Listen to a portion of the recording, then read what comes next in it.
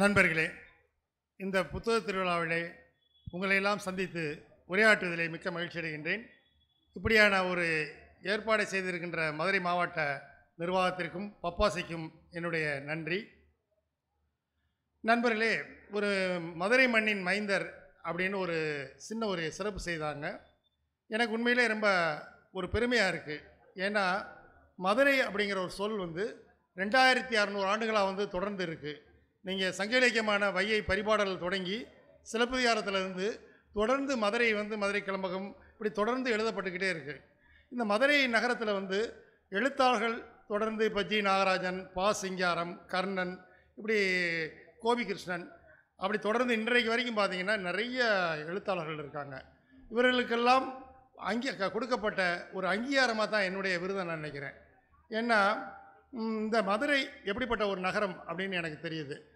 இப்போ நான் வந்து விமர்சனம் செய்தது ஒரு புறம் இருக்குது இன்னொரு புறம் வந்து கிராமத்து தெருக்களின் வழியே அப்படின்னு ஒரு புத்தகம் ஒன்று டிஸ்கவரி புக் பேலஸில் வந்து ஒரு பெரிய புத்தகம் ஒன்று எழுதியிருக்கேன். அது உயிர்மை இணையதளத்தில் எழுதப்பட்ட கட்டுரைகள். இந்த சமயநல்லூர்னு மதுரை பக்கத்தில் கிராமம் தான் என்னுடைய கிராமம். அதில் வந்து ஆயிரத்தி தொள்ளாயிரத்தி அறுபதுலேருந்து எண்பது வரைக்கும் மதுரை எங்கள் மதுரை எப்படி இருந்துச்சு அந்த சமயநல்லூர் கிராமம் எப்படி இருந்ததுன்னு நான் சொல்ல வர்றேன். நண்பர்களே ஒரு விஷயத்தை யோசிச்சு பாருங்களேன். இந்த மதுரையில் கீழ்ப்பாலம் இருக்கு இல்லையா? இந்த கீழ்ப்பாலத்தில் அறுபதுகளில் வந்து நிறைய வந்து சாயங்கால நேரத்தில் போனால் நிறைய மீனவர்கள் மீன் பிடிச்சி விற்றுக்கிட்டு இருப்பாங்க. கெளுத்தி ஐரை உளுவை தேலி விராமீன் இன்றைக்கி மதுரை வந்து வையை வந்து ஒரே முழுக்க எப்படி இருக்குன்னு இன்னொரு கூவமாக மாறிக்கிட்டு இருக்கு இல்லையா? நிலம் எப்படி மாறிக்கிட்டு இருக்குது இந்த திரைப்படங்கள் எப்படி இருக்குது உணவு எப்படி இருக்குது இது எல்லாத்தையும் வந்து நான் ஒரு பெரிய புத்தகம் எழுதியிருக்கேன்.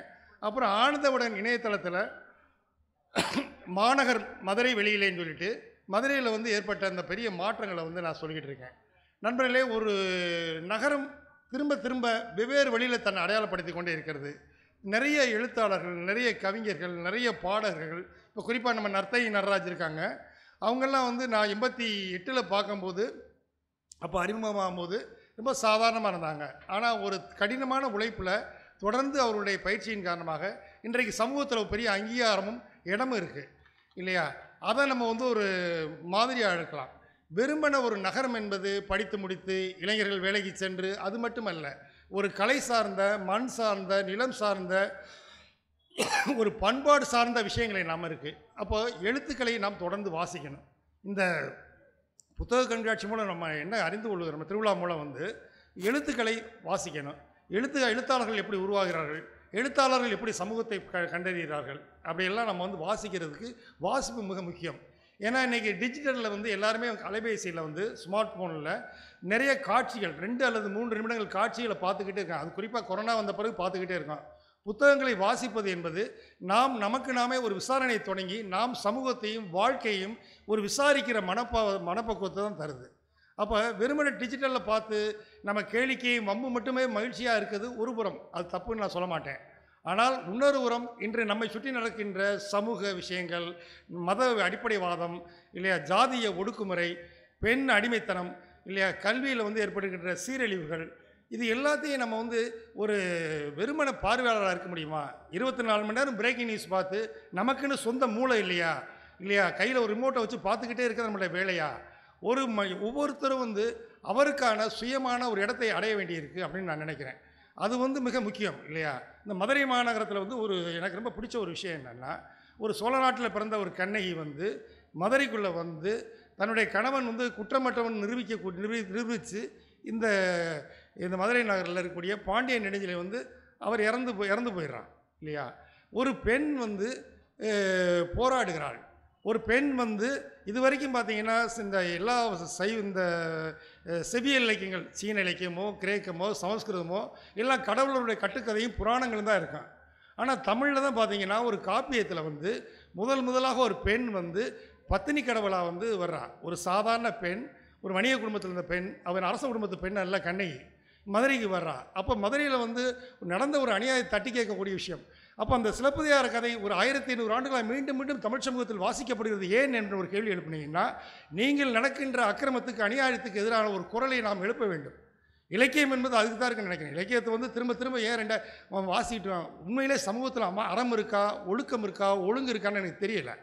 இங்கே வந்து எல்லா விதமான கிரிமினல்களும் எல்லா விதமான கார்ப்பரேட்டுகளும் எல்லா விதமான கொடூரமான மனிதர்களும் இங்கே தொடர்ந்து இருந்து ஆட்சி செய்துக்கிட்டே இருக்கான் நம்மளை.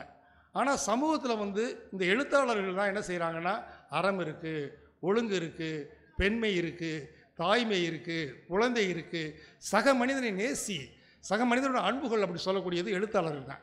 அப்படி தான் நான் பார்க்குறேன் இந்த எழுத்துக்கள் வந்து நம்மளது இருக்கும் நான் அப்படி தான் நினைக்கிறேன். என்னுடைய எழுத்தின் மூலமாக தான் என்னுடைய பயணம் தொடருது. ஏன்னா இந்த நேரத்தில் வந்து நான் வந்து ஒரு சின்ன விஷயத்தை சொல்லி முடிச்சிடுறேன். நான் ஒரு எழுத்தாளர் நான் உருவாகிறதுக்கு வந்து பதிவு செய்ய விரும்புகிறேன் எட்டாவது படிக்கும்போது என்னுடைய ஆசிரியர் எஸ் எஸ் வாசன் அப்படின்னு ஒரு தமிழாசிரியர். அவர் தான் முத முதல் வகுப்பில் மனு தர்ம சாஸ்திரம் பாரதியார் பாரதிதாசன் இது எல்லாத்தையும் சொன்னார்.